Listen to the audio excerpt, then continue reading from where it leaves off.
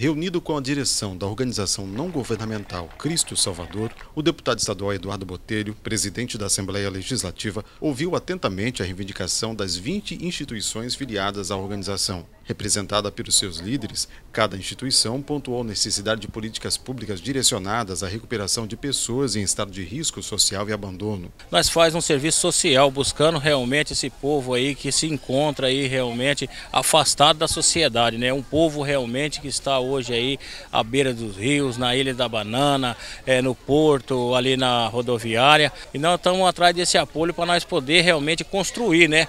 Construir alojamento, construir uma padaria, uma cozinha grande aqui para nós poder melhor e melhoria de todos eles, a gente fazer o melhor para eles, né? Somente na comunidade terapêutica Umbrites, na região do Grande Pedra 90, são 47 internos atendidos.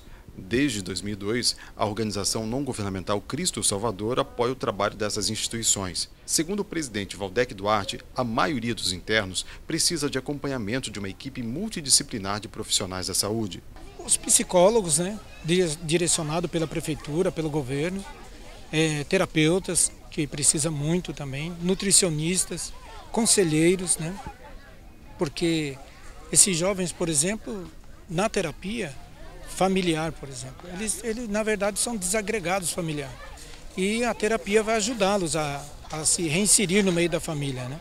O deputado estadual Eduardo Botelho conheceu o projeto com o objetivo de auxiliar as instituições que prestam serviço de apoio às pessoas em estado de risco. O parlamentar disse que será feita interlocução com o governo para que projetos sociais atendam às instituições, principalmente através de programas de qualificação para o mercado de trabalho.